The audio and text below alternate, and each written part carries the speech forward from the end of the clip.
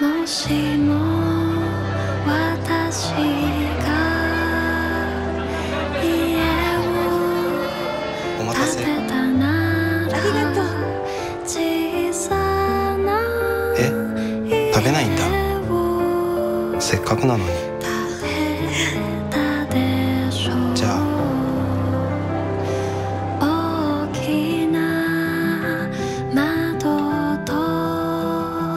ばあばはさなんで食べなかったの？だって恥ずかしいじゃない。好きな人の前でこんなでっかいの。あじゃあさじいじの前では？